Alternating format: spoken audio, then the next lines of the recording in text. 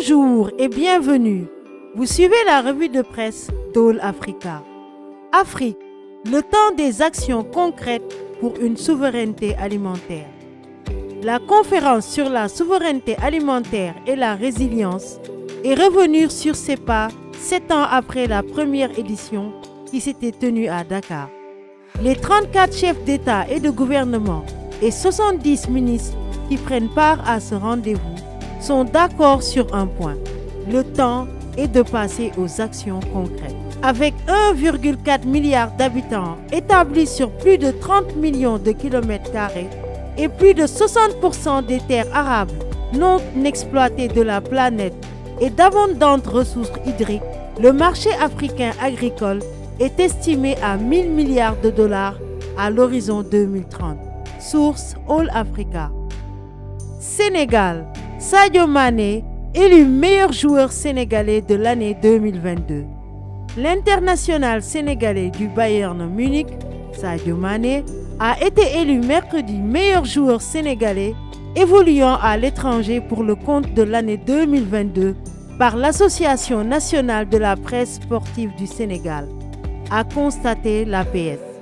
L'attaquant vedette des Lions du Sénégal est arrivé largement en tête sur 250 voix devant les joueurs de Chelsea, le gardien Edouard Mendy 99 voix et le défenseur Khalidou Koulibaly 37 voix après le dépouillement des votes ayant été effectués par 27 rédactions du pays. Guinée, procès du 28 septembre. Moussa Dadis Kamara laisse la place à la barre. Appelé 15 fois à la barre, un record, l'ancien chef d'État est le principal accusé dans le procès du massacre du 28 septembre 2009. Entendu pour la dernière fois ce mercredi 25 janvier, Moussa Dadis Kamara a laissé la parole au gendarme Blaise Goumou. Ce matin, rien de nouveau au tribunal criminel de Dixon. Depuis le 12 décembre, c'est Moussa Dadis Kamara qui est interrogé pour son rôle dans le massacre de plus de 150 personnes et le viol de plus d'une centaine de femmes le 28 septembre 2009 lors d'un meeting de l'opposition au stade de Conakry. Deux de ses avocats lui posent alors leur dernière question. Source RFI. Le pouvoir tchadien de nouveau menacé depuis le sud du pays. Les Tchadiens accueillent dans l'inquiétude les informations faisant état de la naissance d'une nouvelle rébellion dans le sud du pays.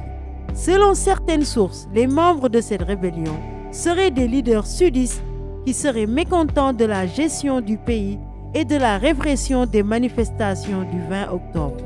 Pour d'autres observateurs, c'est un ancien mouvement qui tente de se réorganiser pour mieux s'affirmer sur le terrain. L'opposition politique, pour sa part, appelle à privilégier la voie démocratique. Source Deutsche Welle. Les délestages minent la population sud-africaine qui manifeste. Le pays connaît une crise énergétique sans précédent, avec un nombre record de coupures en 2022, dû à l'incapacité de l'entreprise nationale ESCOM à produire suffisamment d'énergie.